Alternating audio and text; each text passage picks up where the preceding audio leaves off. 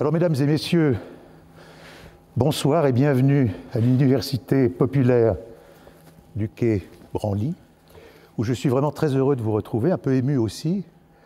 C'est tout de même neuf mois d'interruption, et il était quand même grand temps que nous reprenions, ce contact. Euh, j'aurais préféré, bien sûr, que ces retrouvailles se fassent euh, ici, dans notre cher amphithéâtre Lévi-Strauss, euh, moyennant quoi les autorités gouvernementales, pour le moment, nous recommandent la plus extrême prudence, et de toute façon, cette prudence sera de mise jusqu'à la fin de la crise. Donc, nous nous en remettons à la technique, une technique qui nous permet tout de même d'être en contact les uns avec les autres. Et je crois qu'il faut saluer cette performance, et pour moi et pour nous tous, euh, de l'Université populaire, remercier les équipes techniques du musée qui rendent possible euh, euh, cette, rencontre et cette présentation de conférence. depuis le printemps dernier, je crois que la dernière conférence a dû intervenir au milieu du mois de mars, nous, évidemment, le, programme a considérablement changé et évolué. un certain nombre de conférences que nous avions programmées pour le printemps ont été reportées en cette fin d'année et au début de la suivante, début 2021. Et puis d'autres euh, ont été renvoyés à plus tard, étant entendu que certains sujets euh, davantage en, prise sur l'actualité euh, m'ont semblé devoir être inscrits en, toute priorité, en quelque sorte. Voilà, alors ça donne un programme que je voudrais essayer de vous rappeler à la date d'aujourd'hui.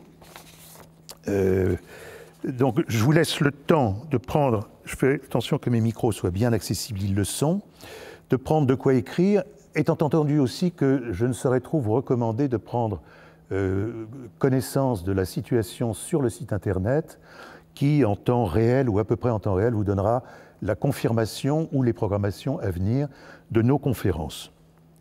En dehors de la, conférence de ce soir dont euh, Kervé Lebras va vous présenter, euh, nous avons arrêté cinq euh, conférences euh, d'ici la fin du mois de février. Elles sont calées et en principe, vraiment, rien ne devrait les remettre en cause.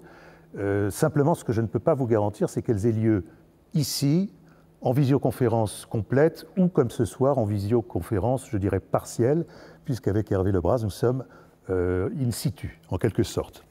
Alors, le 6 janvier, le mercredi 6 janvier, toujours à 18h30, hein, je ne le précise pas, ça n'est pas utile, euh, Benjamin Stora viendra euh, nous parler de, sa, de comment sortir du colonialisme, sujet évidemment capital sur les questions décoloniales, postcoloniales, dont l'actualité est euh, évidente avec les déboulonnages de statuts, les, les, problèmes de mémoire et les, et les concurrences mémorielles en quelque sorte. En tout cas, c'est un sujet vraiment très important. La deuxième euh, conférence, c'est Philippe Descola qui nous la donnera le mercredi 20 janvier 2021, euh, cette fois aussi. Euh, et c'est un sujet centré sur l'Amazonie et dans une perspective de, réflexion sur la question de la souveraineté des États euh, sur des, thèmes, des sujets et des espaces territoriaux qui évidemment sont inscrits dans, euh, une, logique d'intérêt général et pour le coup mondial. C'est une contradiction et je crois qu'il va nous en expliquer, exposer avec brio euh, les déterminants. Et puis, Étienne Klein viendra le 27 janvier pour nous parler d'Einstein et la relativité dans le cadre de notre euh, cycle euh, Penseurs d'hier et d'aujourd'hui, qui est donc un cycle complémentaire, vous le savez, de Où va le monde? Les autres conférences dont j'ai parlé relèvent de ce cycle principal Où va le monde? Quatrième conférence, les migrations en Europe à l'horizon 2030, et c'est François Héran qui le fera. C'est évidemment le prolongement de la conférence que vous allez entendre ce soir. Euh, et c'est une conférence, là encore, très importante, portée par toutes sortes d'enjeux politiques et, d'enjeux divers, idéologiques d'ailleurs aussi parfois. Et il est important de remettre un peu de, gravité et d'informations euh, stables et fiables sur ces questions. Et puis la cinquième et dernière euh, de ce cycle, donc jusqu'à fin février, c'est un microbiologiste et virologue belge qui s'appelle Peter Piot, qui est un très grand personnage, vraiment de réputation mondiale, qui est le co-découvreur du virus Ebola, et qui viendra nous traiter d'un sujet que j'ai fixé il y a quelque temps et qui peut vous paraître un peu saugrenu, voire même un peu saumâtre, puisqu'il s'agit des pandémies du futur. Je suis un peu désolé de vous replonger le, nez dans la terrible situation que nous, vivons, mais c'est évidemment aussi très important d'avoir une vision un peu euh, prospective et déjà d'ailleurs de tirer des leçons de l'expérience mondiale que nous venons de, vivre. Voilà. Alors, pour ce qui est de ce soir, euh, nous avons le très grand plaisir d'accueillir euh, Hervé Lebras, que je remercie très particulièrement d'avoir confirmé sa, présence, parce que nous sommes quand même dans des conditions un peu, un baroques, il faut bien le dire. et donc, vraiment un grand merci. Hervé, Hervé Lebras est, vous le savez, démographe.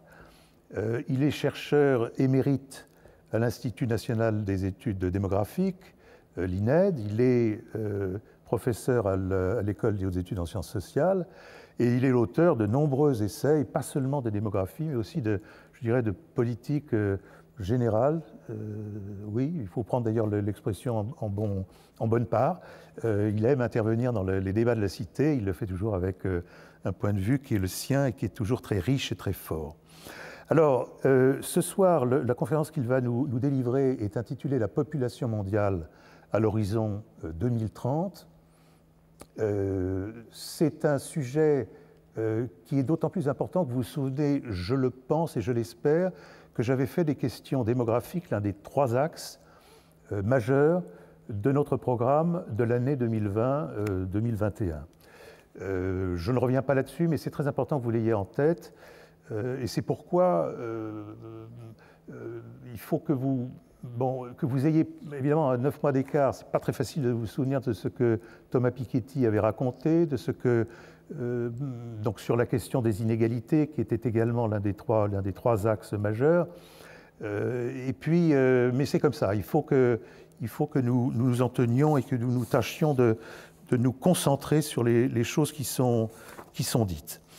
Euh, mon cher Hervé, je, vais vous passer la, parole, euh, non sans vous recommander, euh, après votre exposé, dirais-je, de, venir me rejoindre pour que nous passions aux questions.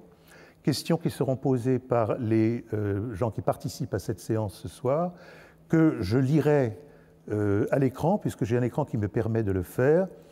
Euh, et, nous verrons comment nous, pouvons procéder. Alors, recommandation, j'imagine que certains poseront des questions en cours de conférence. Tâchez d'être euh, synthétique, mais suffisamment explicite quand même pour qu'on comprenne de quoi il s'agit.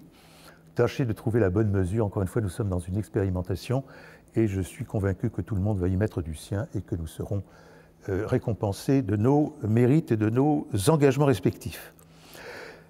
Mon cher Hervé, c'est à vous.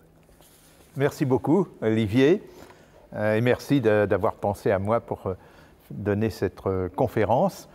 Je vais non seulement essayer de vous montrer ce que l'on pense du futur de la population mondiale, de son avenir, mais aussi insister sur un certain nombre d'incertitudes et puis sur certains aspects qui sont idéologiques. Les questions de population sont très souvent euh, un motif de discorde ou un motif de peur, que ce soit pour la population mondiale ou, vous le verrez dans une autre conférence, pour la question des, des, migrations.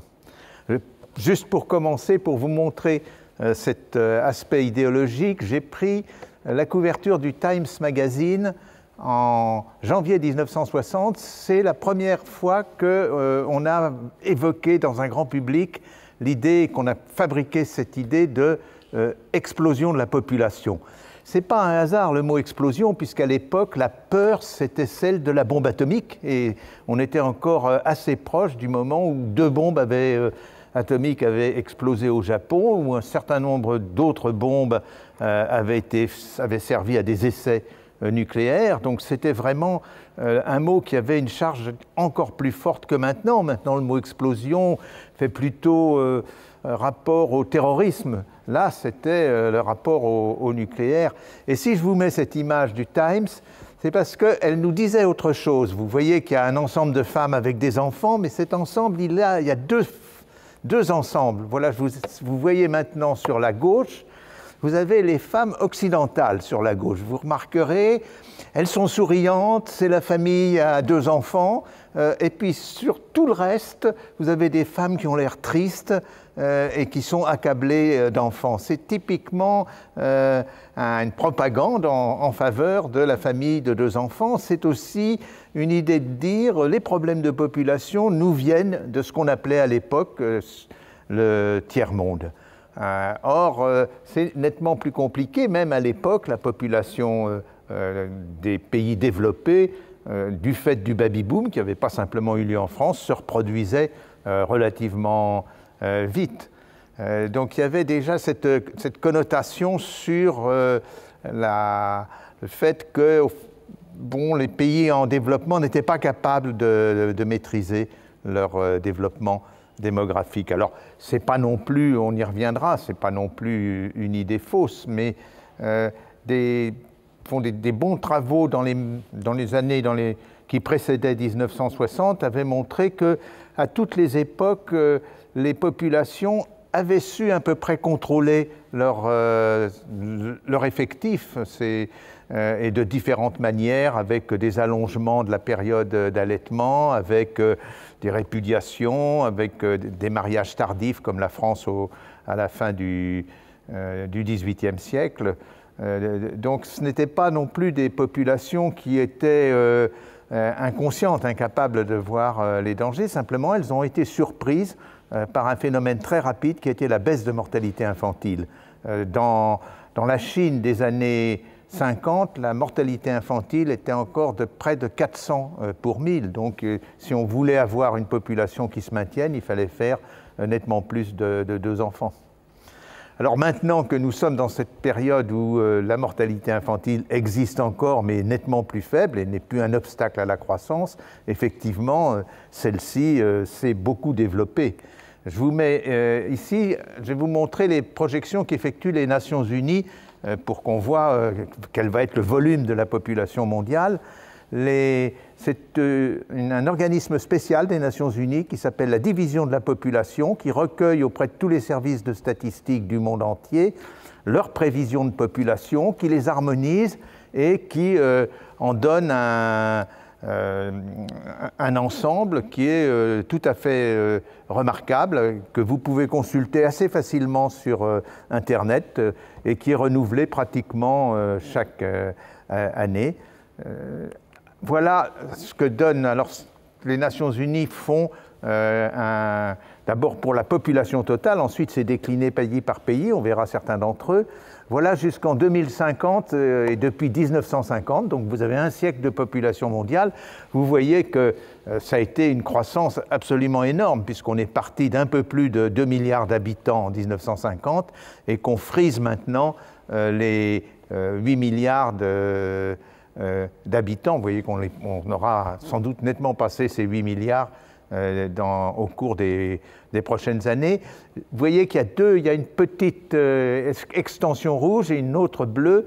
Euh, les, Nations Unies font une hypothèse moyenne, c'est celle que vous voyez en noir, et puis une hypothèse haute, c'est-à-dire et une hypothèse basse de, de, prévision. Comment ces hypothèses sont faites, je ne vais pas entrer dans le détail, mais euh, c'est des hypothèses qui portent sur euh, l'évolution de la fécondité dans chaque pays, l'évolution de la mortalité aussi, et puis euh, ça ne compte pas pour la population mondiale, mais pour chaque pays, il y a aussi des hypothèses de, migration, et elles sont faites jusqu'à l'horizon. Là, l'horizon est 2050, mais les Nations Unies poussent beaucoup plus loin l'horizon. Vous allez voir que maintenant, euh, l'horizon est 2100. Et vous voyez là que la courbe rouge et la courbe bleue, la, la courbe haute et la courbe basse sont maintenant très écartées. C'est pour vous dire que les Nations Unies estiment effectivement que l'avenir de la population mondiale à très long terme, en 2100, enfin c'est dans 80 ans, est euh, hautement euh, hypothétique, puisque euh, entre la courbe bleue et la courbe rouge, on passe de euh, un peu plus de 7 milliards à un peu moins de 16 milliards, pratiquement du simple au double. Et puis au centre, vous voyez que ça se tasse euh, assez lentement, qu'au fond, on tangenterait vers 11 milliards d'habitants au sens des Nations Unies. est-ce sûr Et c'est là que je vais commencer à discuter certains points. C'est une première façon, effectivement, et la plus simple, c'est de regarder la population dans, son ensemble. Mais euh, une autre façon de voir pour la prévision, c'est de regarder comment elle s'accroît.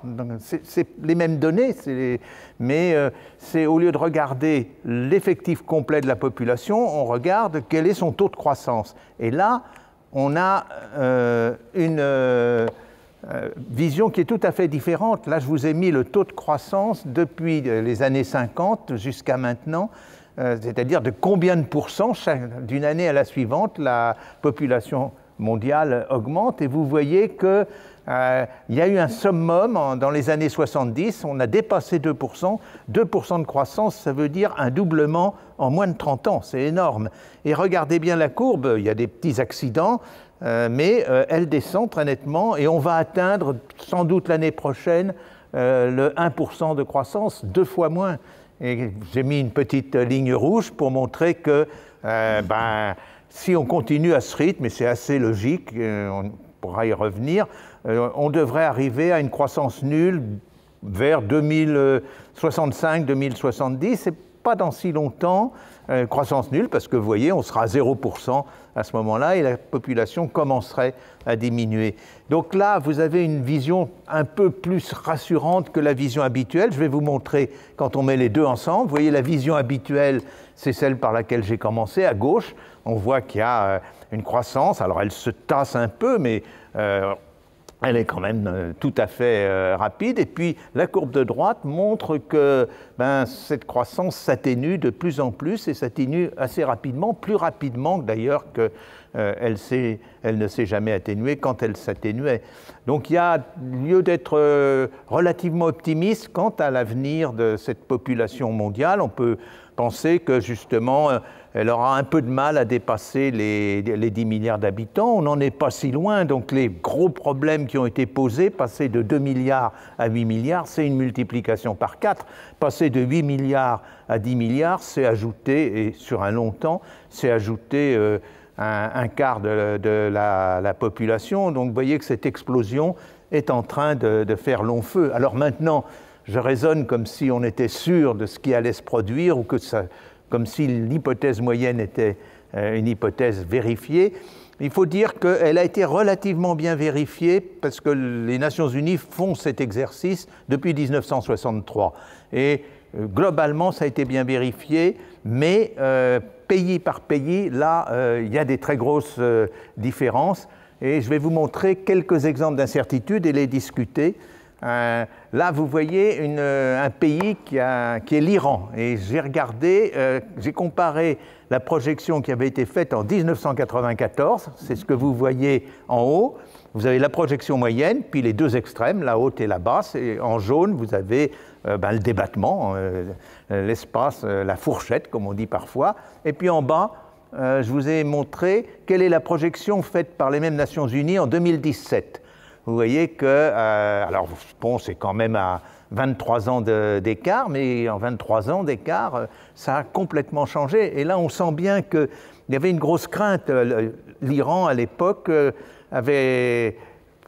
On va voir que c'était assez compliqué, l'Iran, ce qui se passait, mais l'Iran faisait peur, il fait encore un peu peur. Et donc, quelque part, la surestimation de sa population, que vous voyez là, n'était pas complètement euh, euh, innocente. Et en tout cas, on voit bien qu'il y a. Alors j'ai pris un cas extrême, bien sûr, mais on voit bien qu'il y a là une assez large euh, erreur. On va prendre un, autre pays où c'est l'inverse, c'est le Niger. Là aussi, je reviendrai sans doute sur ce pays. Le Niger, vous voyez la projection de 1994, la mortalité était encore haute à cette époque-là, la fécondité l'était aussi, mais il faut dire qu'elle n'a pratiquement pas baissé, on, le verra. Le, Niger est le champion en matière de fécondité actuellement, avec 7,3 enfants en moyenne par femme. Et voyez comment la projection de, voyez la projection de 2017, le Niger atteindra, si on suit les Nations Unies, pratiquement 70 euh, millions d'habitants en 2017. Euh, là, on a une explosion. Là aussi, on aura le temps d'y revenir. Et vous me direz, bon, euh, l'Iran, le, Niger, c'est des pays moins développés. D'abord, c'est faux parce que l'Iran, depuis longtemps, a des bonnes statistiques. Le Niger, oui, les statistiques sont sans doute un peu moins bonnes, mais de là justifie un tel écart. Alors, est-ce que dans un pays comme la France, au contraire, on est sur une base solide et on peut prévoir? Je vais vous montrer le cas de la France. Voilà, alors là c'est pour comparer les deux erreurs, mais voilà pour la France. Euh, la projection faite par l'INSEE en 1994 et la projection euh, actuelle, c'est pour euh, la France métropolitaine. J'ai laissé de, côté les dom-tom parce qu'il faut faire, et les Nations Unies font des projections séparées pour la Martinique, la Réunion, la, la, Guadeloupe et la Guyane.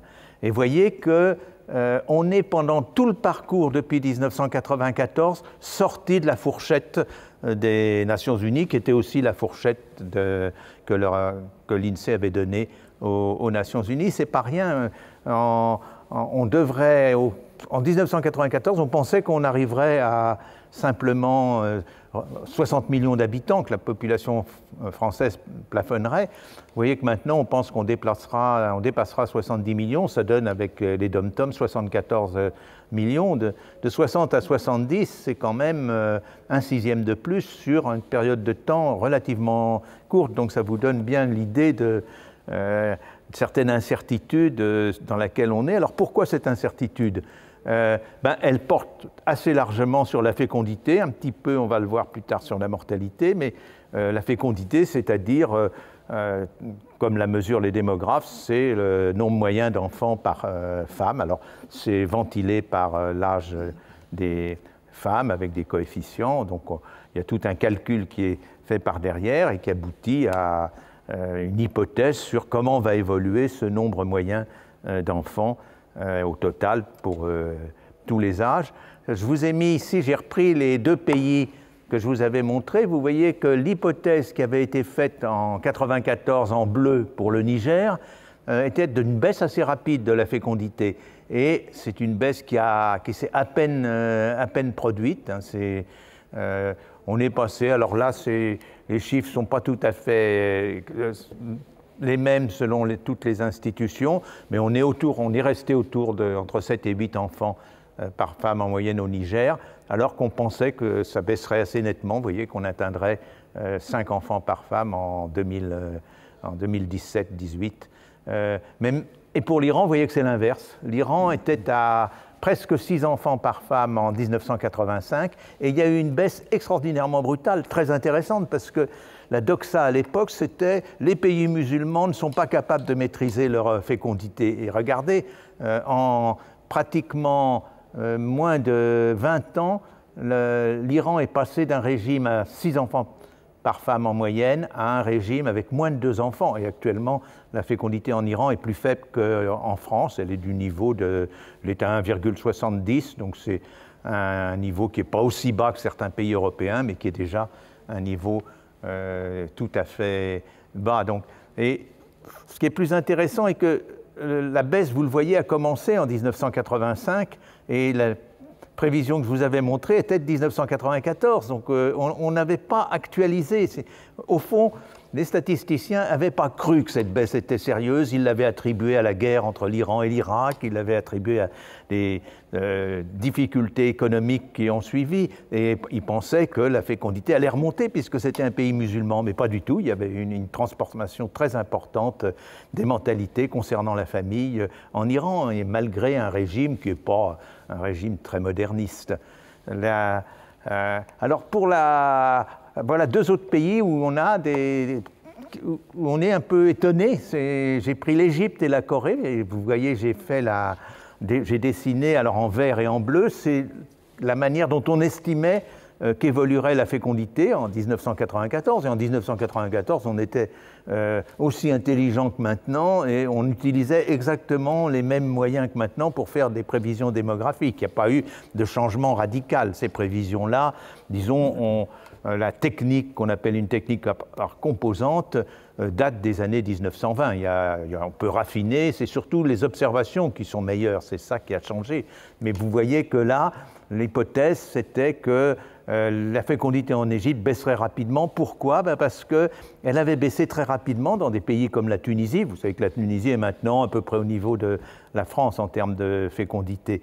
Et puis pour la Corée, la Corée, on se disait, ils vont pas quand même euh, euh, être au-dessous de ce qu'on appelle quelquefois le seuil de remplacement. Ça va remonter, c'est temporaire, et ils vont réatteindre deux enfants par femme.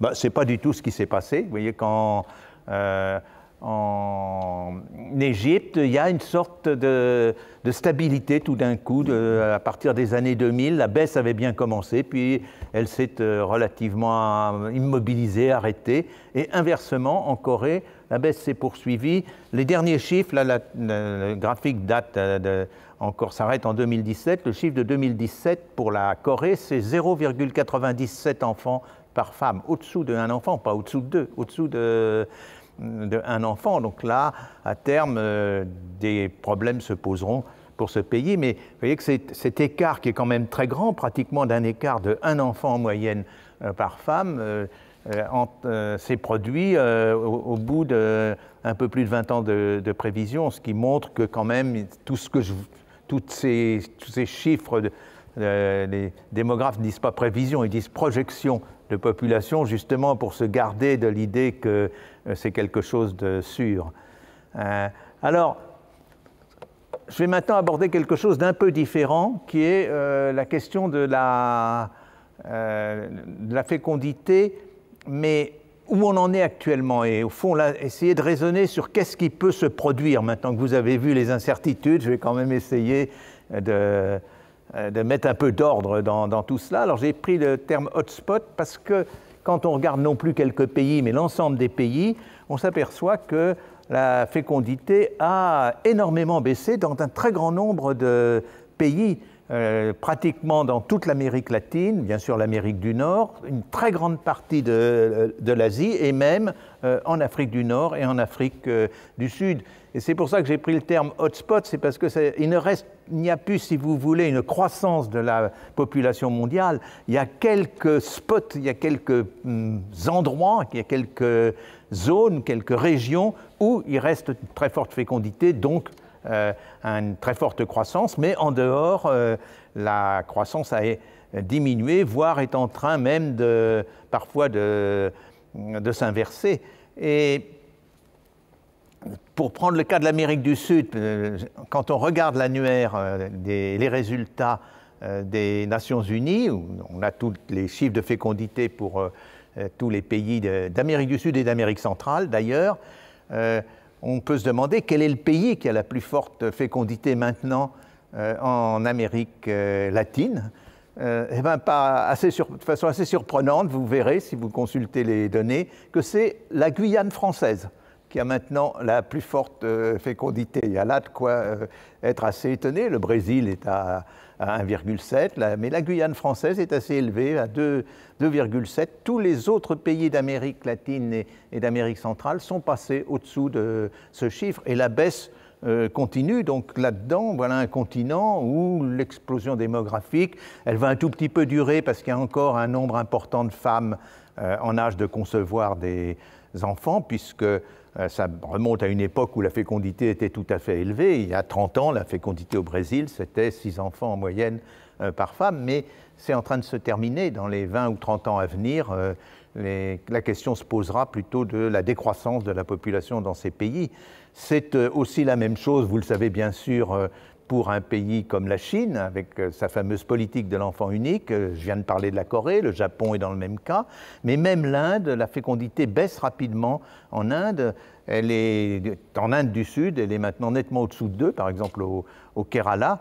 Euh, donc restent quelques endroits, lesquels Alors je vais, vous ai, voilà une carte qui a été faite par les Nations Unies et partout où c'est bleu foncé, on est au-dessous de deux enfants par mais vous voyez qu'il n'y a que très peu d'endroits où on dépasse les deux. Vous voyez le Niger en rouge, c'est euh, euh, là qu'on a les 7,3 enfants par femme en moyenne actuellement. Vous voyez aussi qu'il y a la Somalie, puis autour, en jaune, vous êtes euh, au-dessus de 5 enfants en moyenne par femme, mais ça fait très peu de choses.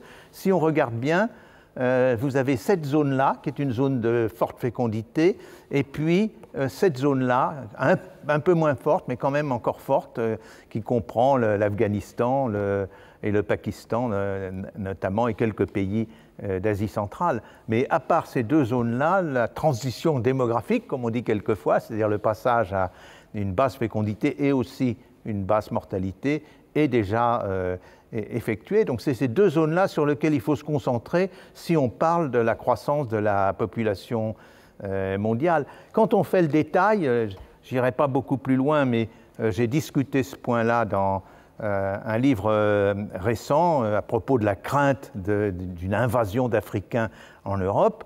on voit que c'est délimité, c'est une Afrique très particulière, c'est une Afrique sahélienne, c'est le Niger, ce qui va au fond du Sénégal jusqu'au Tchad et jusqu'à la Somalie, et puis une Afrique euh, centrale avec euh, la, RDC, la République démocratique du Congo, l'ancien euh, Zaïre, mais le cône sud n'est plus concerné.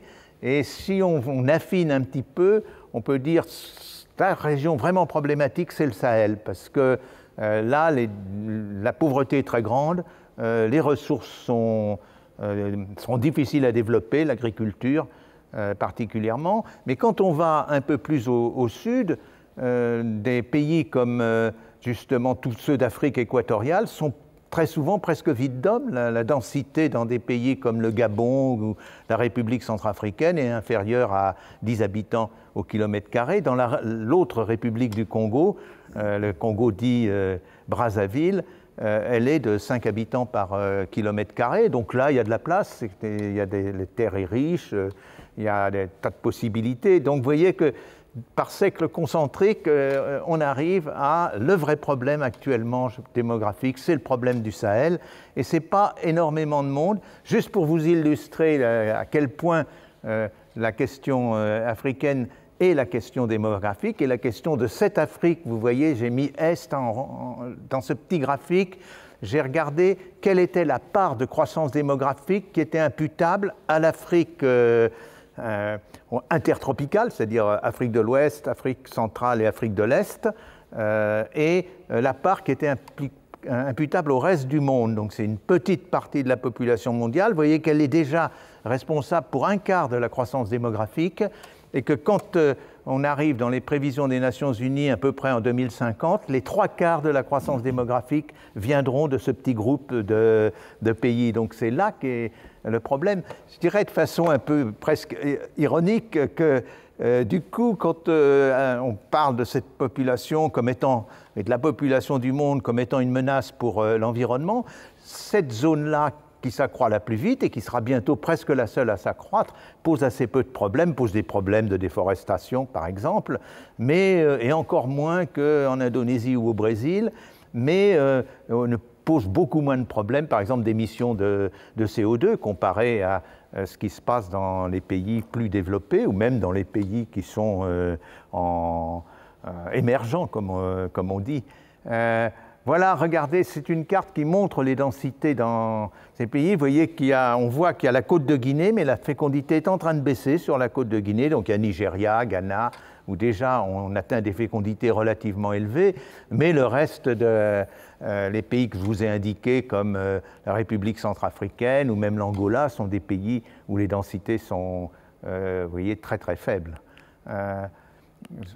Voilà, juste pour euh, illustrer un petit peu le zonage de, l'Afrique, si on veut faire attention à cette question démographique.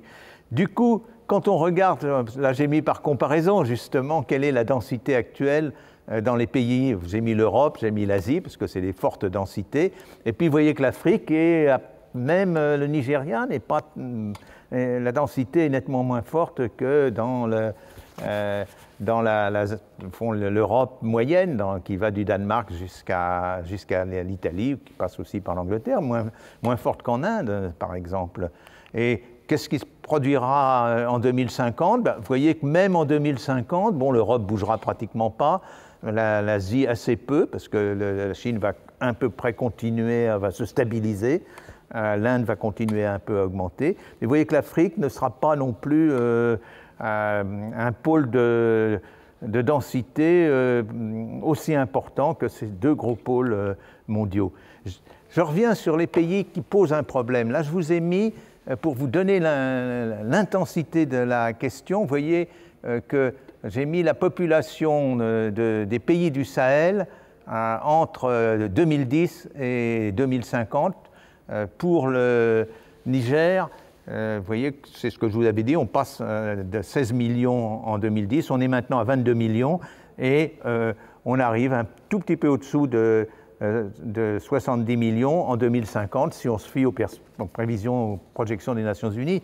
C'est 70 millions d'habitants, c'est la projection des Nations Unies pour l'Allemagne. Hein. Donc le Niger, au sein des Nations Unies, serait aussi peuplé que l'Allemagne. Vous me direz, mais c'est là qu'ils ne vont pas pouvoir vivre à 70 millions dans ce pays qu'est le Niger, qui a très peu de possibilités pour l'agriculture. Ils ont bien sûr quelques ressources en matière première, mais enfin ça ne fait pas vivre 70 millions d'habitants.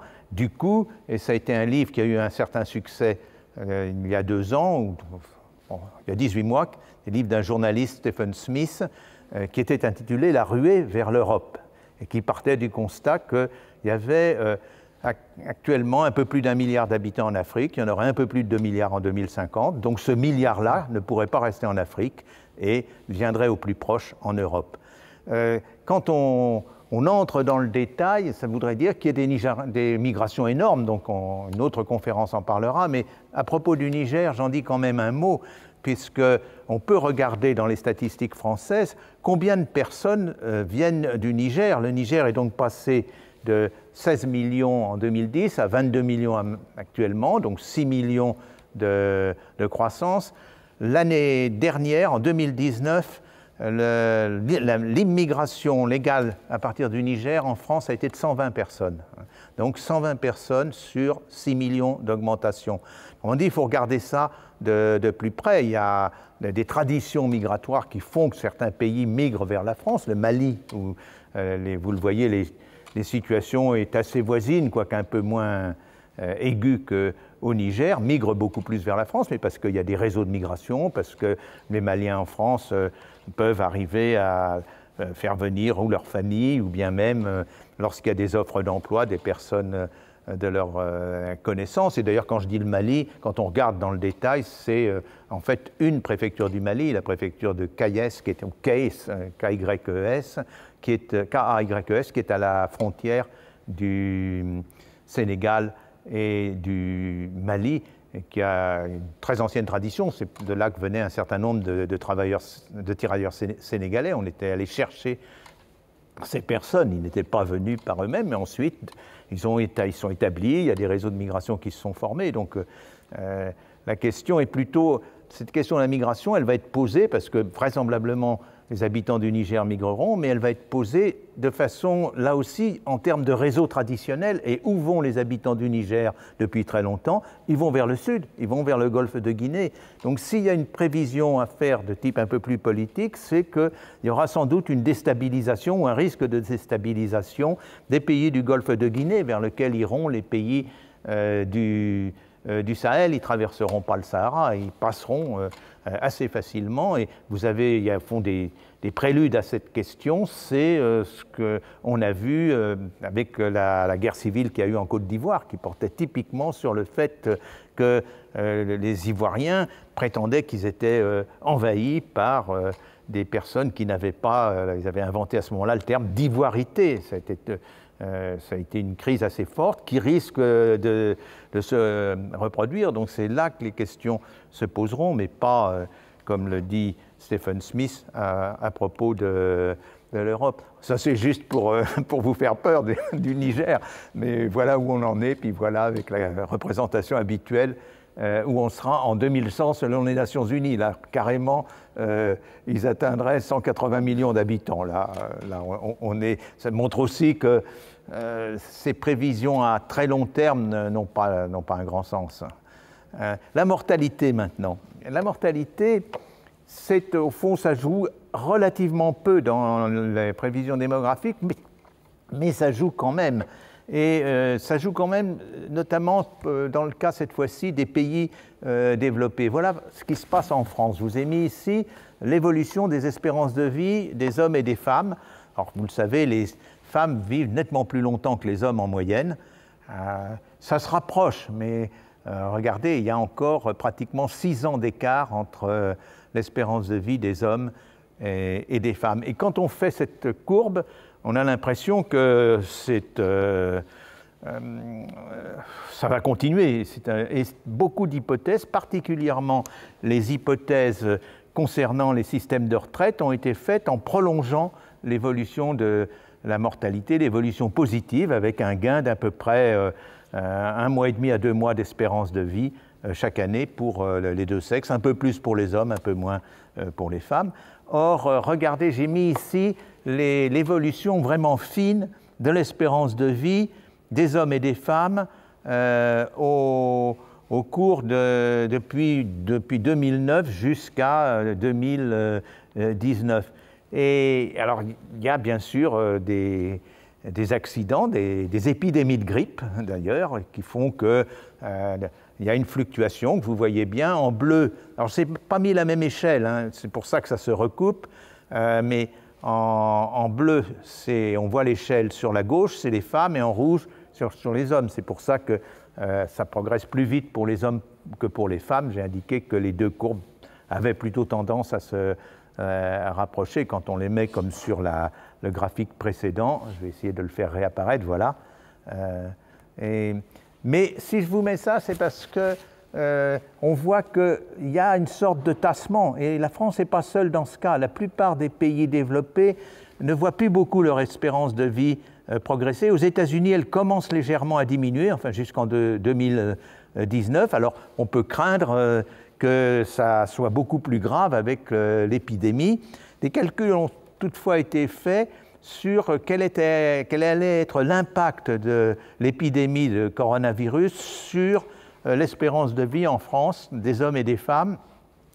C'est un démographe de l'Université de Pennsylvanie, Michel Guillot, et puis une démographe de l'INED, Myriam Klatt, qui ont euh, fait le calcul en tenant compte des âges auxquels les, personnes atteintes par le coronavirus euh, décèdent. Et voilà ce que ça donne Bon, il y aura une baisse, mais c'est une baisse qui est euh, assez modeste. La baisse pour euh, les femmes sera d'à peu près, euh, vous voyez, trois mois, et la baisse pour les hommes sera un peu.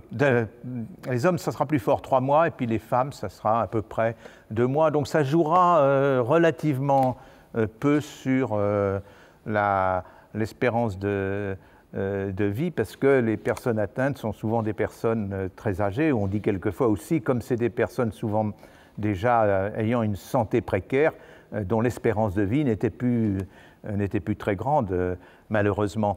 Mais en même temps, ça va confirmer le mouvement de, de tassement de l'espérance de vie et ça va changer pas mal de choses. Ça va changer justement ces calculs sur, les, sur les retraites.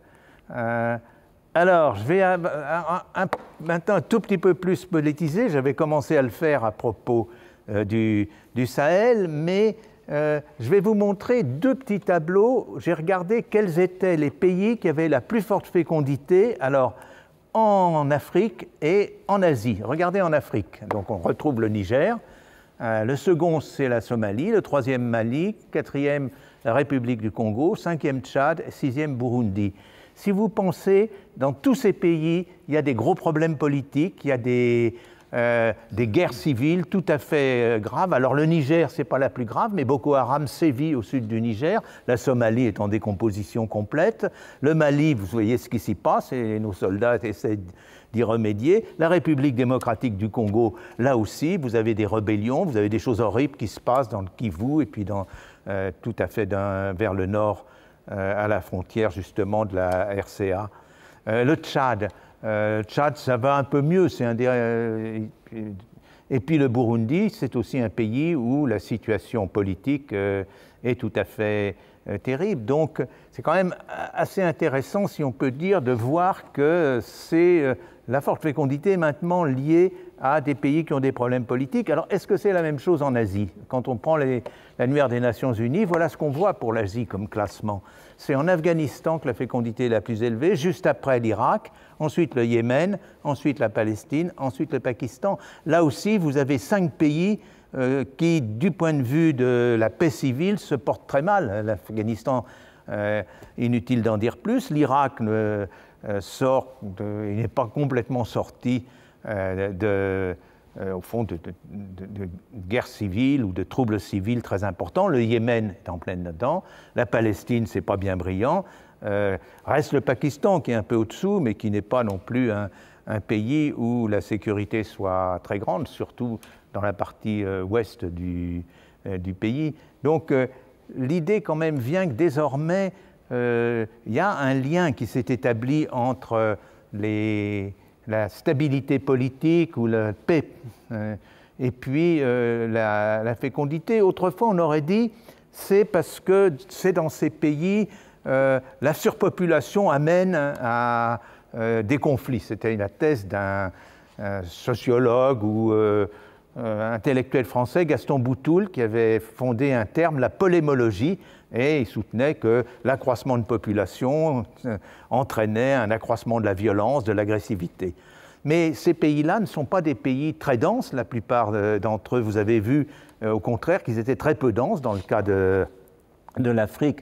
Donc on est obligé de de postuler une relation inverse. C'est là où il y a euh, des troubles civils que euh, la fécondité n'arrive pas à, baisser euh, beaucoup. Et ça se comprend assez bien parce que là où il y a des troubles civils, ben, par exemple la distribution des contraceptifs, les cliniques se passent mal. C'est aussi dans, dans ce genre de pays où vous avez un certain nombre d'ailleurs de euh, de, de, rébellion ou bien de, groupes euh, qui contestent le, pouvoir, euh, qui s'attaquent aux écoles. C'est tout à fait intéressant dans le cas mm, du, Nigeria, du, sud du Niger, d'une partie aussi du Burkina Faso. Boko Haram, Boko, ça vient, c'est books, c'est livres. Boko Haram, c'est veut dire guerre ou lutte contre les livres. Il s'agit de supprimer les livres, il s'agit de supprimer euh, l'enseignement. Et vous avez vu encore qu'il y a quelques jours, euh, une masse euh, d'élèves, de, jeunes, de jeunes gens ont été enlevés par des, groupes, peut-être pas Boko Haram, mais alliés à Boko Haram. On attend de voir ce qui se passera en Afghanistan, mais les talibans avaient attaqué les écoles qui les écoles de filles. Il ne fallait pas que les filles apprennent à lire. Et il y a là-dedans, par derrière, le maintien d'un patriarcat aussi, d'une puissance des hommes. En outre, euh, dans ces pays en trouble, les militaires font un peu ce qui, ce qui leur passe par la tête. Et ça n'est pas toujours pour le bonheur des femmes qui croisent leur chemin. Donc là-dedans, maintenant, la question pour moi de, de l'avenir, au fond, si vous voulez, de l'explosion de la population va être de plus en plus liée à euh, une question de euh, l'avenir euh, de la paix ou l'avenir de la stabilité d'un certain nombre de pays. Ça, ne sera plus simplement le fait que ces pays aient un niveau d'éducation trop faible ou qu'ils aient un niveau économique trop faible, c'est parce que c'est des pays qui sont désorganisés. Pour finir, je vais aborder un, un thème euh, qui est après tout celui dans lequel on est plongé, en me demandant, euh, mais c'est à titre euh, assez hypothétique, est-ce que la crise que nous vivons va changer les paramètres démographiques? Si elle les change beaucoup, tout ce que je viens de vous dire jusqu'à maintenant, ben, il faudra le remballer parce que la fécondité ne sera plus la même, la mortalité ne sera plus la même, donc on entre dans une période qui est encore plus hypothétique que celle que j'ai jusqu'ici examinée. donc je vais vous montrer quelques exemples de la manière dont des crises anciennes ont atteint euh, la démographie.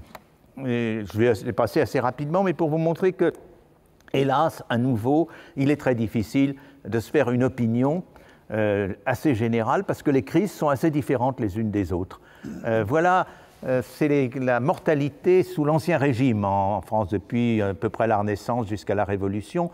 Et vous voyez que là, les épidémies, c'était une chose extrêmement sérieuse la, moyenne ici a été ramenée à 100. Alors vous voyez qu'il y a un, peu une montée tendancielle, mais surtout, vous voyez que les pointes de mortalité sont très fortes.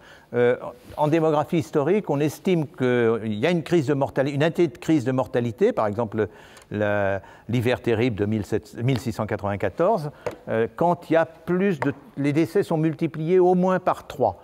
en France, il y a 620 000 décès euh, par an, multiplié par 3, ça voudrait dire 1 860 000 décès. On en est très loin avec l'épidémie du coronavirus. Ce n'est pas du tout pour euh, m'en satisfaire, mais on n'est pas du tout euh, dans ce qu'étaient les crises de mortalité anciennes. 1929. ah, 1929, c'était une très très grosse crise. Alors c'est autre chose, c'est une crise économique. Donc mais là, on peut regarder, on a beaucoup de statistiques. Je vous ai montré qu'est-ce qui s'est passé du point de vue de la mortalité. Euh, vous voyez, j'ai pris trois pays, Allemagne, France, États-Unis. Vous voyez qu'il n'y a pas de grosse. Euh, c'est pas marqué, 1929, ça n'a pas atteint euh, la mortalité. Et pourtant, vous savez que la condition notamment des pauvres a été terrible, particulièrement d'ailleurs aux États-Unis. Est-ce que ça atteint les naissances? Ben, Vous voyez que ce n'est pas clair. Euh, les naissances en France et aux États-Unis ont continué à, décliner. Euh, et puis, euh, quand vous regardez la courbe verte, c'est l'Allemagne, c'est triste à dire, mais la remontée des naissances, c'est les lois hitlériennes de la famille, c'est 1933, un peu après 1933, mais ça n'a rien à voir avec la, crise, sinon l'Allemagne était sur un déclin de la natalité semblable aux autres pays industrialisés, comme on disait à l'époque. Euh, est-ce que les mariages, là, vous voyez qu'il y a un effet sur, euh, les mariages, euh, et là, ça se comprend, c'est-à-dire les unions sont retardées, et puis vous voyez que ça remonte aux États-Unis et en Allemagne, alors toujours pour les lois hitlériennes, qui étaient plus des lois hitlériennes sur le mariage que sur la natalité d'ailleurs, et puis aux États-Unis aussi, où il y a une forte reprise. Par contre, la France, la crise a été beaucoup plus diluée en France que dans ces pays, et même les mariages n'ont pas bougé. La crise pétrolière, on va arriver à maintenant, presque à maintenant, mais la crise pétrolière, euh, ça a été un choc en, 1974 et vous allez voir que, fin 73, début 74, et là, euh, il s'est produit quelque chose. Regardez les, euh, j'ai mis pour la France les naissances en vert en haut, les décès, hein, les, taux de, les taux de mortalité, les taux de natalité, et puis les taux de nuptialité, les mariages. Vous voyez qu'il y a eu une chute très brutale des, naissances. Elle avait commencé, donc c'est pas, ça, a sans doute accéléré le mouvement, mais euh, ça a été une chute tout à fait importante qui ne va voir une reprise que euh, après, à partir de grosso modo de, euh, de la fin du, du millénaire. Pour les décès, vous voyez que ça n'a eu aucun effet, et pour les mariages, ben, c'est un peu la même chose. Euh, qu'en 29, là, il y a une chute forte des mariages. Alors quand on entre dans le détail, c'est là qu'on voit l'effet d'une crise. La courbe rouge, c'est non pas les naissances, mais la fécondité, c'est-à-dire vraiment le nombre moyen d'enfants par femme. Et parfois, on l'appelle indice conjoncturel. Et vous voyez, la courbe rouge, que euh, à partir de 73, il y a une chute, donc ça a un peu précédé, puis ensuite, ça tombe très bas, euh, puisqu'on on va descendre jusqu'à à peu près des taux de, euh, des indices de 1,70 euh, en moyenne enfants par euh, femme, puis ça commence à remonter sur la fin de, la période. Et en même temps, et c'est l'explication, vous voyez la courbe en bleu, c'est l'âge moyen auquel les femmes, les hommes aussi d'ailleurs, mais là c'est les femmes, ont leur premier enfant. Et vous voyez que c'est en 74, alors là carrément, c'est la date est exacte, ça marque une un, retournement d'une tendance qui datait de la fin de la, première, la Seconde Guerre mondiale, où on voyait qu'il y avait un âge au mariage et donc un âge euh, d'ailleurs à, la première naissance de plus en plus précoce, euh, qui était euh, la première naissance arrivait à 23 ans et demi, vous le voyez dans, en, 1973, et puis c'est monté très très rapidement, et ça continue de monter presque jusqu'à maintenant, puisqu'on est pratiquement à 29 ans. Donc quand les, naissances sont retardées, comme on dit, euh, la fécondité est plus faible, c'est l'explication de la baisse de fécondité. Il n'y a pas eu envie par les Français de faire moins d'enfants, mais il y a surtout eu envie de les voir arriver plus tard. Hein, voilà 74.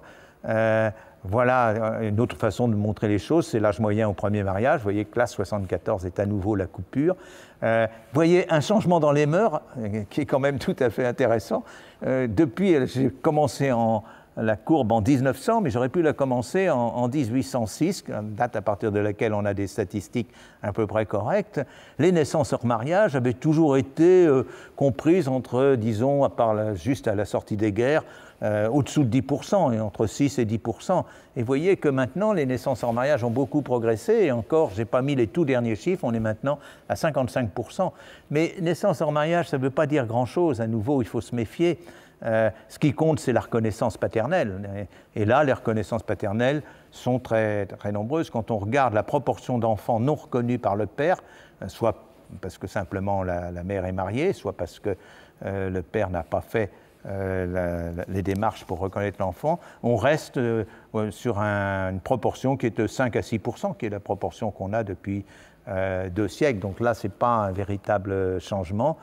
Les divorces, bah, vous voyez que ça n'a pas beaucoup ça n'a pas beaucoup joué, les divorces. Il y, a, bon, il y a une histoire un peu compliquée dans la progression du, divorce.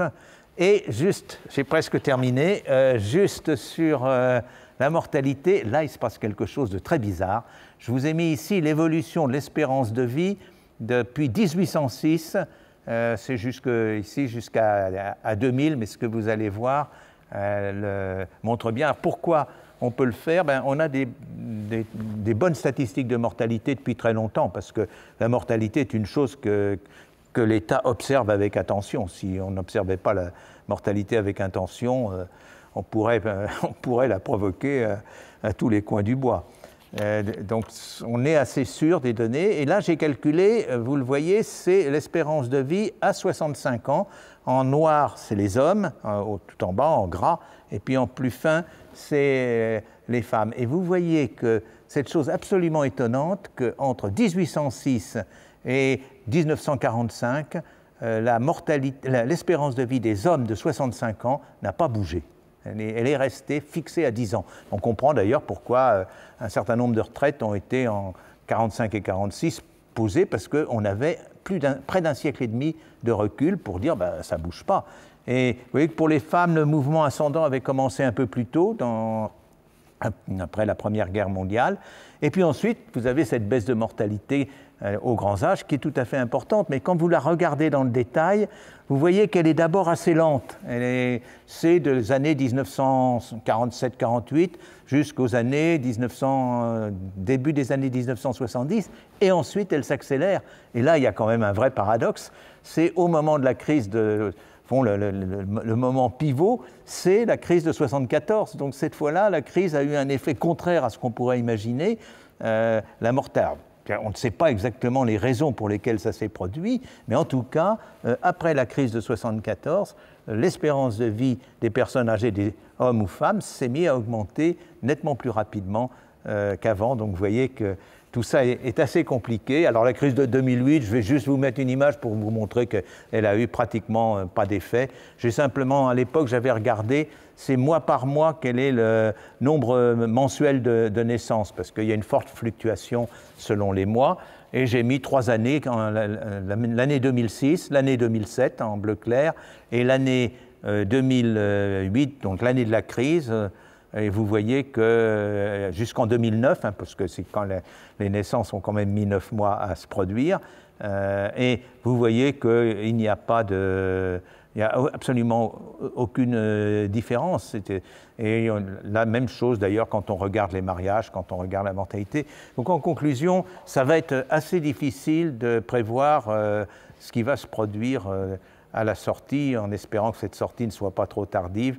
Euh, de la crise du, coronavirus du point de vue démographique est assez dur, pas simplement pour la France, j'ai plus terminé sur la France parce que, au fond, les, chiffres sont euh, euh, solides et puis c'est un, domaine que je connais le mieux, mais pour le monde entier, puisque l'épidémie a, sévi dans, le monde entier, et même dans les endroits où elle a sévi moins fortement, par exemple le Japon, la Corée, les réactions de la population ne sont, pas euh, ne sont pas clairs. On ne peut pas savoir si, euh, par une sorte de réflexe, euh, ça aura créé au fond l'envie d'être entouré par une famille, ou bien si au contraire ça aura poussé les personnes à, avoir une plus faible fécondité, à avoir, une, à avoir moins d'enfants, vu les difficultés rencontrées pour l'éducation de ces enfants, la fermeture des écoles, et puis pour même simplement leur, leur survie. Donc, ma, mon constat est un petit peu pessimiste du point de vue scientifique, c'est que euh, on a beaucoup d'expériences précédentes, mais elles ne nous aident pas beaucoup.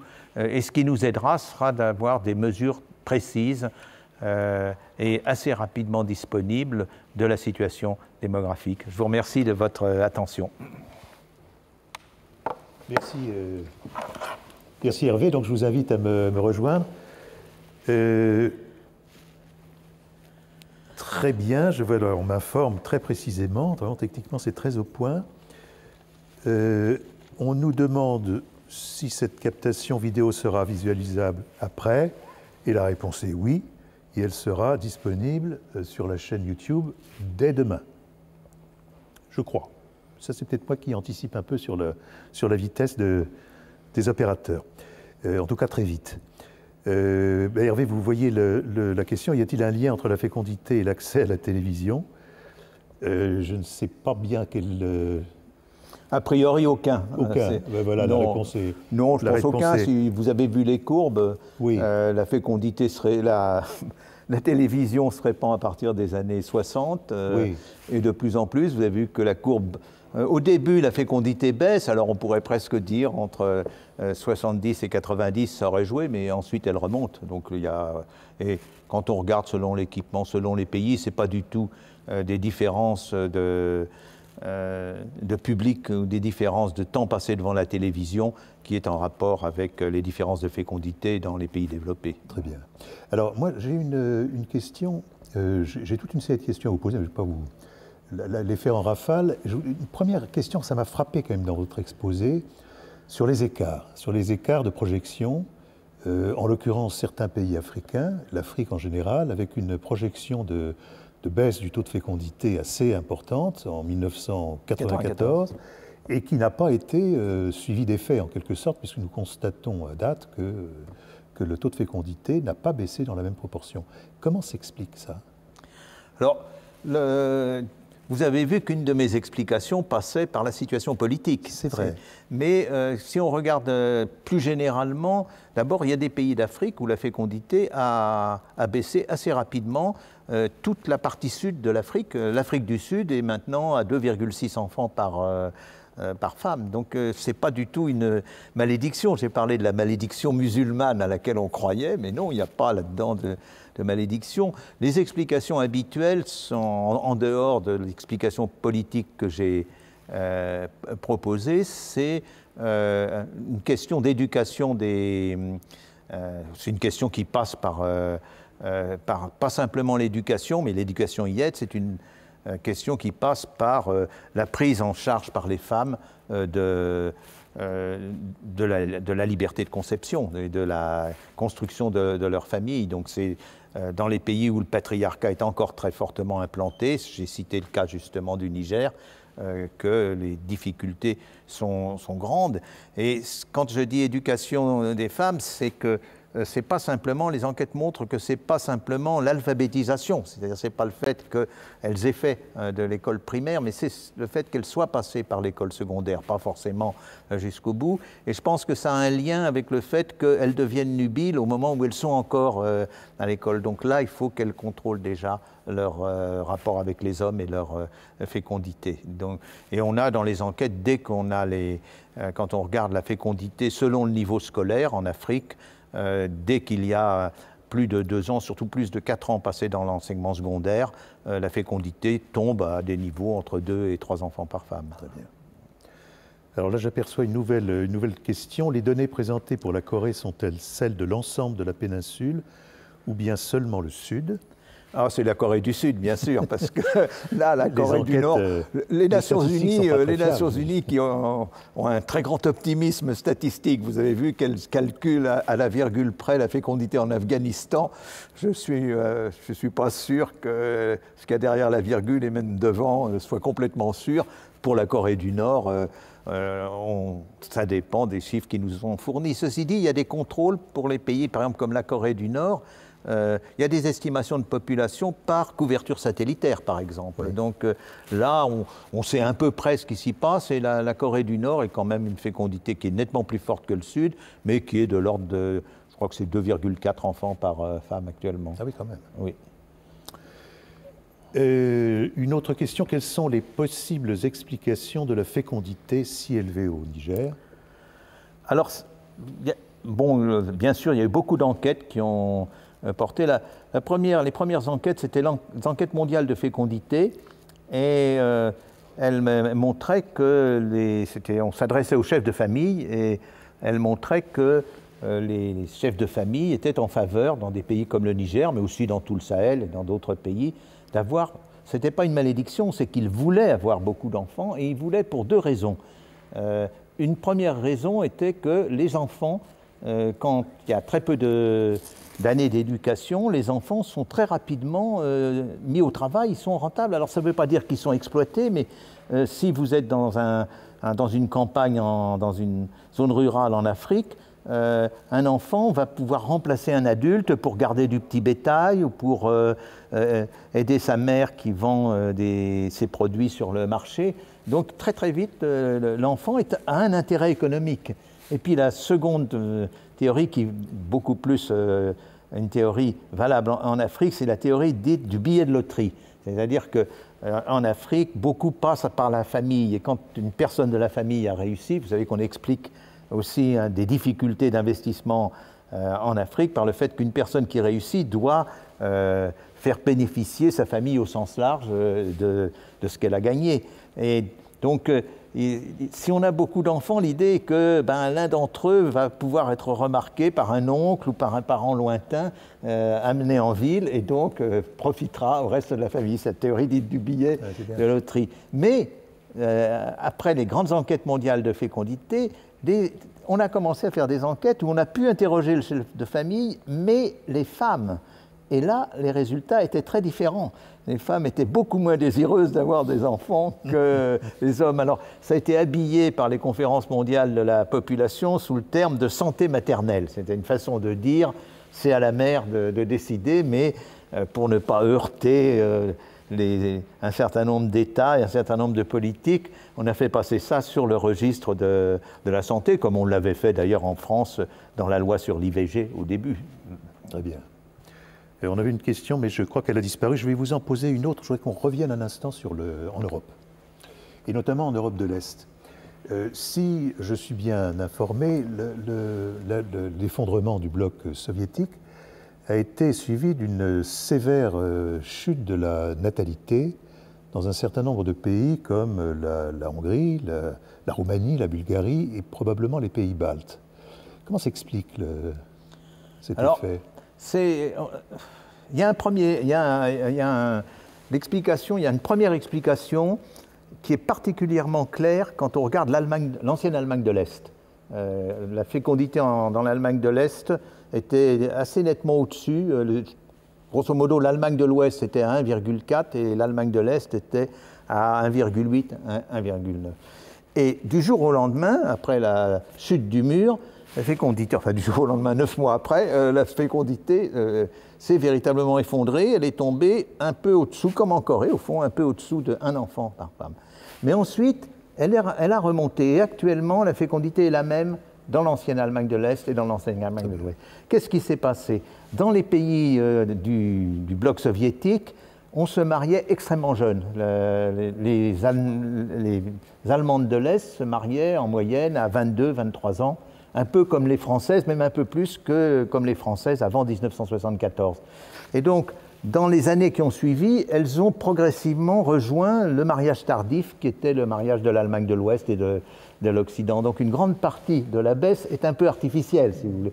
Mais euh, ensuite, maintenant, depuis une dizaine d'années, quelque chose d'autre s'est produit, qui est assez difficile à, à comprendre, d'autant plus que les femmes étaient beaucoup plus, la proportion de femmes actives était importante dans les pays de, de l'ex, des pays satellites ou même en Russie. Donc il est il n'y a pas d'explication, je n'ai pas d'explication véritable à, la baisse. Ce qu'on peut dire aussi, c'est qu'il y a un climat euh, qui est euh, assez anxiogène pour ces pays du point de vue démographique, parce que non seulement la fécondité est, faible, l'un des pays les plus faibles, c'est par exemple la Pologne, malgré son, son image de pays très catholique, euh, c'est avec la Bulgarie le pays qui a la plus faible fécondité maintenant en, en, Europe. Et c'est en même temps, la mortalité euh, n'a pas complètement rejoint le niveau des,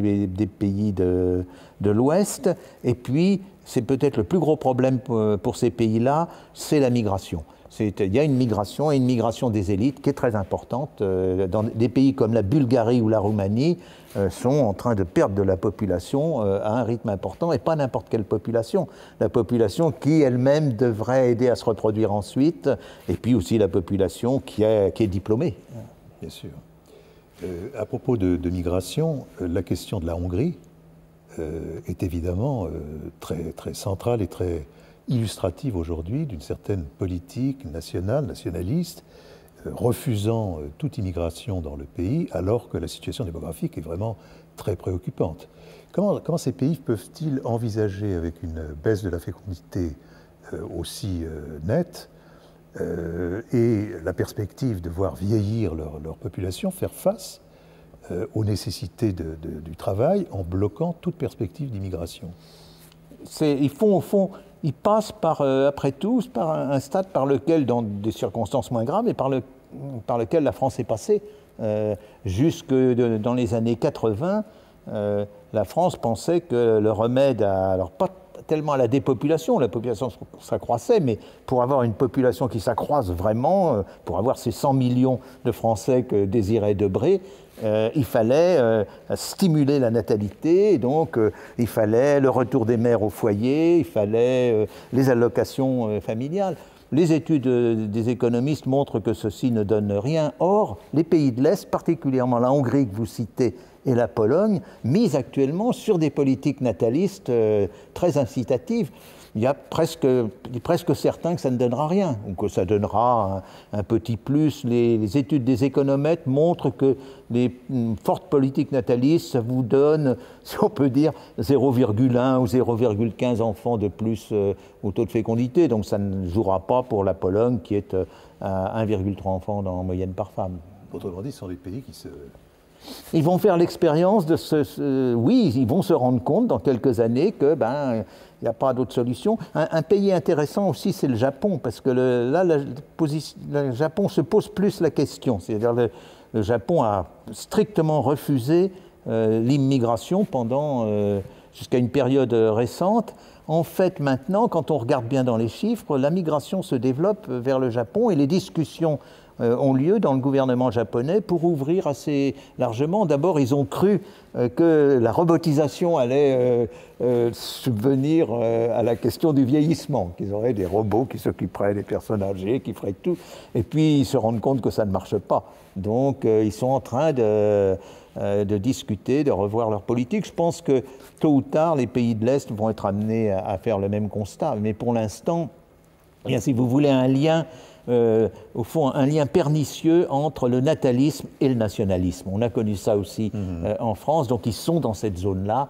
Un gouvernement comme le gouvernement hongrois ou le gouvernement polonais, euh, tire comment dire, tout un, tout un, prestige populaire du fait qu'il encourage la natalité, que justement, du coup, euh, qu'il n'évoque pas la migration comme une solution. Mais du coup aussi, il lui arrive euh, ce que j'ai signalé, c'est-à-dire qu'il euh, y a une fuite du pays.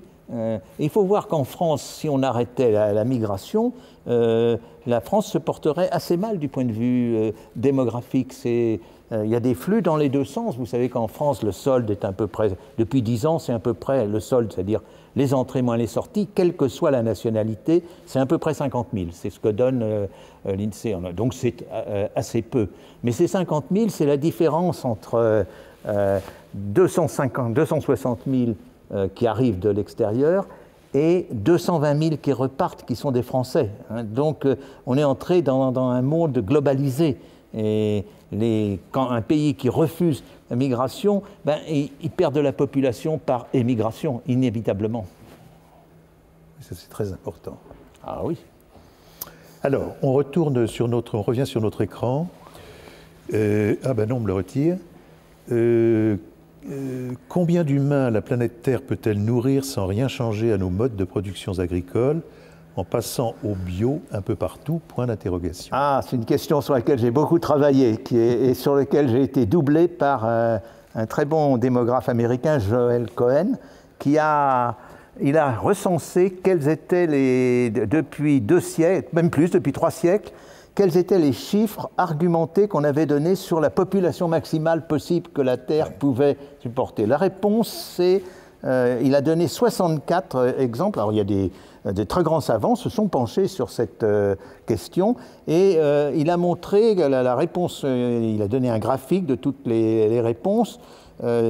Déjà au XVIIe siècle, euh, Leeuwenhoek, par exemple, un très grand savant, donnait 14 milliards. Euh, Petit aussi donnait à la même époque. Et la moyenne est à peu près de 14 milliards. Mais les réponses s'échelonnent entre certains, euh, par exemple, Paul Ehrlich de l'université de Stanford, qui donne 2 milliards. il a hésité, de temps en temps c'était 1 milliard et demi, de temps en temps 4 milliards. Et puis René Revel, qui dirigeait le département d'agronomie euh, de Harvard, de l'autre côté, euh, qui lui donnait 40 milliards. Euh, donc la, fourchette ici est entre 2 et 40 milliards. Vous me direz, c'est de la rigolade. Ben non, parce que Ehrlich, c'est un, écologiste et Revel, c'est un agronome. Hmm. donc ils n'ont pas du tout le même mode de calcul et ils calculent à partir de la production. Revel calcule à partir de la production agricole et on s'aperçoit que la vraie réponse tourne sur la manière dont euh, sur le régime alimentaire. On avait fait des calculs qui montraient, le régime alimentaire, ça veut dire quelle est la part de nourriture animale, de protéines et de calories animales dans notre alimentation. Parce que 50% actuellement, et un peu plus même euh, ces dernières années, de la, la, production de céréales et de soja sur Terre va à la nourriture des animaux et pas des humains. Donc c'est la variable, euh, c'est une des variables absolument euh, déterminante. Si, euh, par exemple, on, avait un régime avec euh, aussi peu de calories animales que au Bangladesh ou au Nigeria, on pourrait nourrir actuellement un peu plus de 11 milliards d'habitants. Si on a le régime français, dans tout le monde entier, on ne pourrait nourrir qu'un peu moins de 4 milliards euh, d'habitants. Donc euh, la variable importante, c'est ce qui est intermédiaire, si vous voulez. L'idée de rapprocher subsistance et population n'a pas grand sens. C'est tout le système, toute la boîte noire entre les deux qui est importante. Très bien. Autre question? Quel lien entre l'âge moyen de la population et la croissance selon le développement du pays? Oh, c'est une très vieille question. Est-ce qu'il y a un rapport entre croissance économique et croissance démographique, donc décliné effectivement selon euh, la proportion de personnes jeunes et la proportion de personnes euh, plus âgées? On n'a jamais rien trouvé euh, statistiquement pertinent. Ça a été un des grands regrets d'Alfred Sauvy, qui était un, plutôt un populationniste et pas un nataliste. il a fait faire beaucoup de calculs avec beaucoup de données il euh, n'y a pas de lien direct. Au fond, c'est un peu comme la réponse précédente. Euh, c'est trop, c'est deux choses trop lointaines, trop massives, la population et puis l'économie. Il y a un tas d'intermédiations entre les deux qui font que, ben, dans certains cas, ça aide d'avoir euh, une population jeune, dans d'autres cas, ça n'aide pas, c'est une charge. Donc là, ce qui est maintenant, les économistes se penchent beaucoup plus sur le niveau d'éducation de la population. C'est ça qui est la variable pertinente pour le développement économique. Très bien. De votre point de vue de, démographe, quel est le, degré d'urgence de la réforme des retraites en France? Alors, je, suis intervenu sur cette question, c'est pour ça que je vous ai montré une des diapos, c'était sur euh, l'évolution de l'espérance de vie, euh, donc le fait qu'elle se tassait. Et dans le, comité d'orientation des retraites, le corps avait fait des, a fait des prévisions qui était fondée sur une baisse assez rapide. Donc j'avais refait des calculs, d'ailleurs pour le compte de la, CFDT, en montrant que la baisse risquait d'être beaucoup moins rapide qu'on le pensait et qu'à ce moment-là, le problème disparaissait assez largement. Si vous... Mais maintenant, il y a un côté presque risible, puisque la question qui était posée, qui agitait tout le monde il y a un an, c'était euh, comment faire face à 14 milliards de déficit des régimes de retraite en 2027. Hein, vous voyez que là, euh, non, je pense qu'avec les méthodes actuelles, on aurait pu y faire face très facilement. Très bien. Alors, question euh, des participants, de nos amis devant leur écran. y a-t-il un lien clair entre migration à cause des guerres ou changement climatique, réfugiés, et la croissance de la population dans les zones d'accueil? Alors c'est une vraie, question, cette euh, question des guerres, parce que euh, plus de 80% des migrations africaines sont des migrations interafricaines, et surtout, c'est des migrations causées par euh, les, guerres. parce que c'est les guerres, prenons par exemple l'exemple du Darfour, qui est à l'ouest du Soudan, où il y a une guerre absolument terrible, qui est maintenant en train de s'atténuer, de se tasser, mais qui a fait de l'ordre de 300 à 400 000 morts, donc qui a fait fuir. Mais qui fuit? Ceux qui fuient, c'est des paysans pauvres. Et ils vont pas loin. Ils ne menacent pas de, traverser la Méditerranée. Ceux-là, ils sont installés euh, dans d'énormes camps à l'est du Tchad, autour d'Abéché, ou bien aussi au nord de la RCA. Même chose pour les, Somaliens. Il y a le plus grand camp de réfugiés du monde, sans compter les Rohingyas, mais le plus grand camp de réfugiés du monde jusqu'à une époque actuelle, était un camp qui est à, une cinquantaine de kilomètres de la frontière de Somalie, euh, au Kenya. Donc là, il y a un, vrai problème guerrier qui est. Euh, qui, J'ai développé la question de la fécondité, puis, mais je pense que la, la, séance sur les migrations abordera euh, abordera cette question, parce que c'est une véritable question. Quand on voit la, question de la Syrie, par exemple, en Syrie, on a à peu près un million de Syriens qui ont demandé asile en Europe, mais il y en a 3 millions qui sont euh, en Turquie, il y en a un million au Liban, euh, il y en a 500 000 en Jordanie, et à l'intérieur même de la Syrie, on donne le chiffre de 7 millions de, déplacés internes. Il faut bien voir que euh, tous ceux qui sont euh, les déplacés internes en, Turquie, au Liban, en Jordanie, sont beaucoup plus pauvres et beaucoup moins formés que ceux qui sont arrivés en Allemagne. Je ne dis pas en France on en a accueilli très peu. Alors, question suivante, ne plus ou avoir moins d'enfants n'est-il pas dû à l'influence de la société individualiste contemporaine? Qui pousse l'individu à moins regarder vers son prochain et sa descendance qu'à son nombril oui, ça, joue certainement. C'est une vieille théorie. C'était, euh, un démographe et sociologue du, début du siècle, Arsène Dumont, qui avait fait un livre très intéressant où il parlait de la capillarité sociale et disait voilà, les classes moyennes cherchent à s'élever dans la société et donc il faut que toutes leurs ressources soient mises euh, au profit de cette montée dans la société. Donc il faut s'acheter un beau salon, il faut bien recevoir son patron, et donc du coup, euh, bah, on n'a pas de quoi avoir des enfants. C'était vrai à l'époque, euh, ça reste un peu vrai, les classes moyennes ont plutôt une fécondité plus faible que les classes populaires et que les classes que les classes supérieures. Donc il y a un, fond de vérité là-dedans. Ça a été exploité pour ceux qui sont intéressés. le dernier roman d'Émile Zola porte là-dessus, il s'appelle Fécondité, et c'est vraiment une charge, mais d'une violence absolue contre les petits bourgeois qui n'ont pas d'enfants, et au contraire contre les très grandes familles qui sont formidables. Alors la question suivante, le vaste continent de l'Australie est-il en croissance démographique ou pas?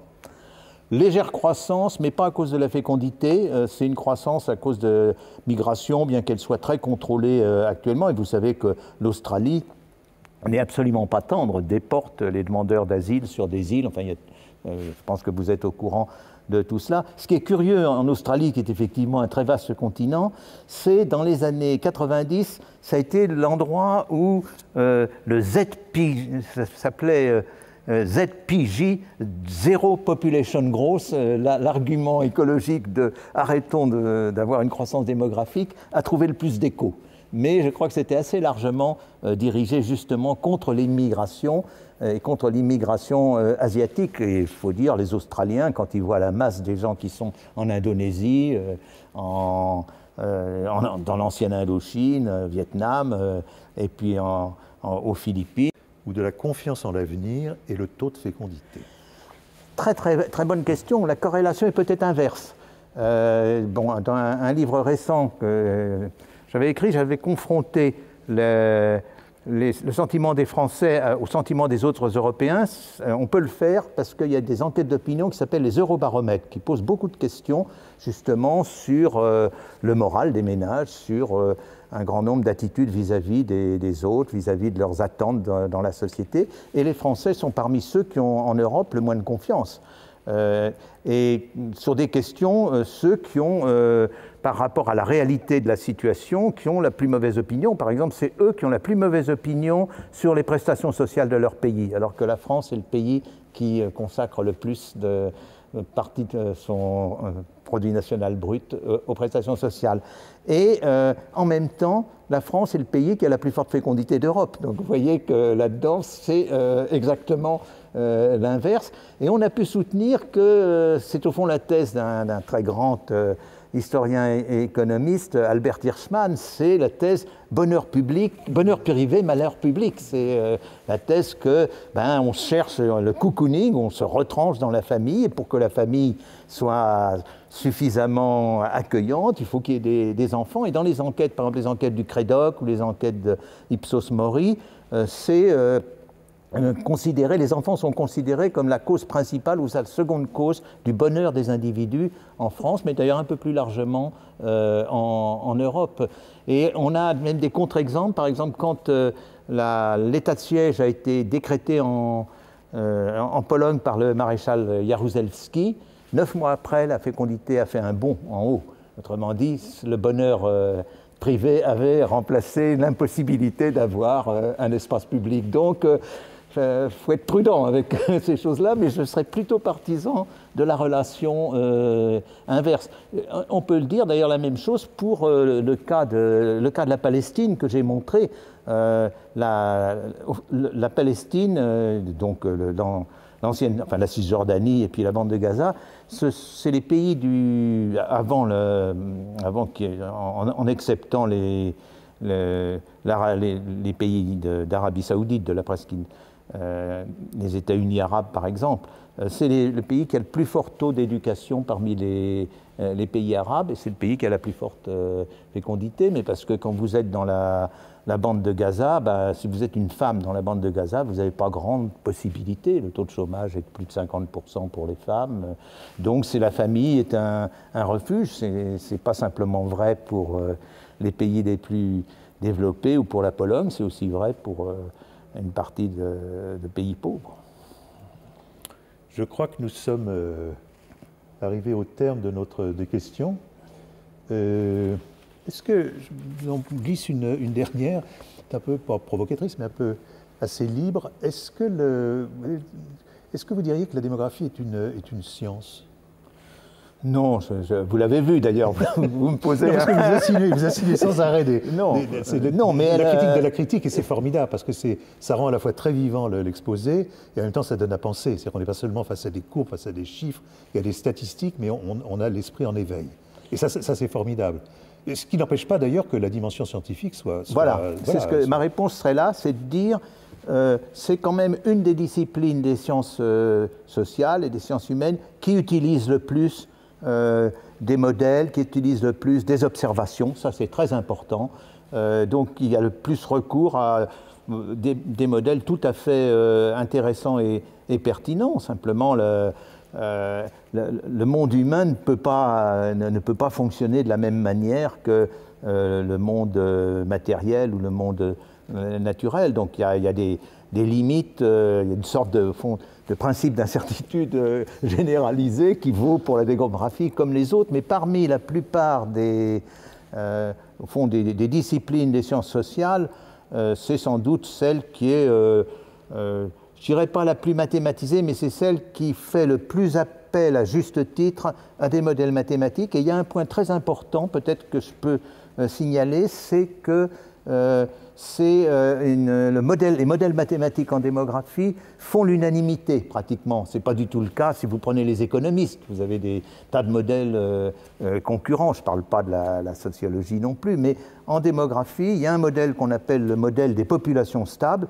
qui est un, modèle très fort, qui fait d'ailleurs, qui réunit tous les éléments que je vous ai montrés qui, harmonisent le taux de croissance, le taux de fécondité, les fécondités par âge, la pyramide des euh, par âge. Ce n'est pas un modèle très compliqué, mais euh, c'est un modèle qui est paradigmatique, pour reprendre le, terme qu'emploie Thomas Kuhn. Et là, il n'y a, pas de, rejet. Il y a peut-être quelques personnes euh, à l'époque, même, même non, quand j'ai tort, à l'époque, il y avait une grosse différence entre la démocratie telle qu'elle était pratiquée dans les pays de, l'Est, euh, qui était une démographie dite marxiste, euh, qui n'avait vraiment rien à voir euh, d'une certaine manière, mais au moins ce petit noyau mathématique était respecté. Très bien.